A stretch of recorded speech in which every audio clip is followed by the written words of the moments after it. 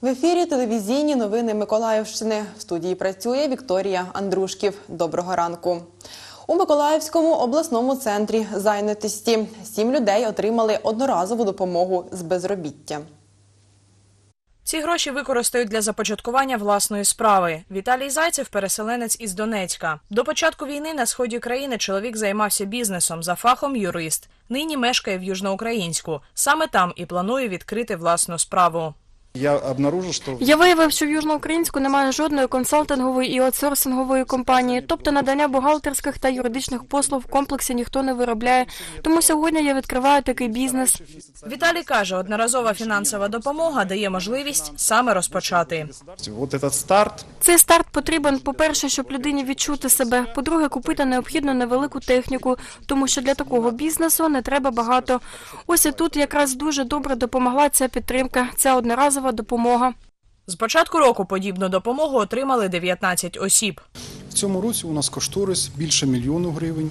За першу половину цього року отримали одноразову допомогу 19 чоловік, які сьогодні присутні будуть в залі. Сьогодні ми вручаємо 7 чоловік, які отримують сертифікат на одноразову допомогу на суму більше 200 тисяч гривень.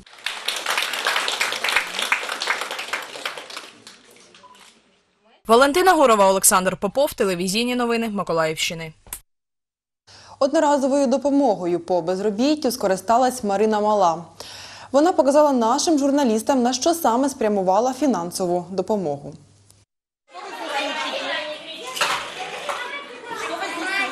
математику. Цифры знаете? У меня появилась идея открыть э, свой детский центр, то есть открыть предпринимательство, и а, сотрудники очень любезно мне предложили, что есть такая вот программа, которой можно воспользоваться, получить разовую помощь и направить эти деньги в нужное русло. То есть частично были вложены свои финансы, частично помогла Центр занятости. Власну справу Марина відкрила три роки тому. До того працювала у банку. Отримала одноразово 56 тисяч гривень. Це сума, яку мали виплачувати протягом року. А, Изначально это были голые стены, которые мы сняли в аренду помещения. А, Была идея, вот как все организовать. Я не дизайнер по профессии, то есть до этого 10 лет работала в банке. Соответственно, нанимали дизайнера, который реализовал э, именно эту идею. Бажання займатися саме цією справою у жінки виникло з появою доньки.